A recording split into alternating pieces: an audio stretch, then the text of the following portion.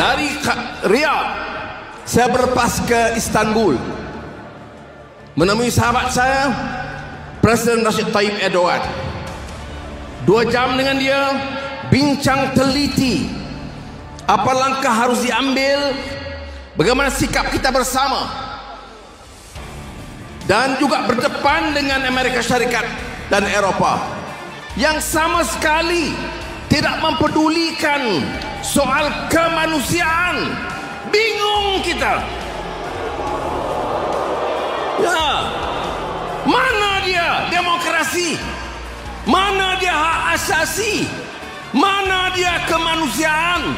Apa kemanusiaan itu bagi orang kulit putih? Dan hamba abdi bagi orang kulit hitam. I was telling them, where justice? Where is humanity?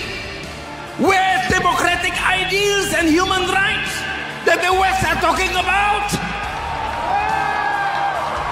We are not asking for anything extra.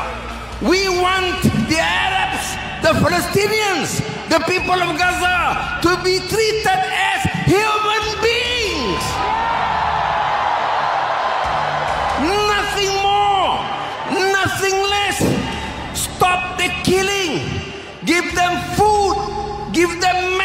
Medicine, give the babies the right to live. Is that asking too much?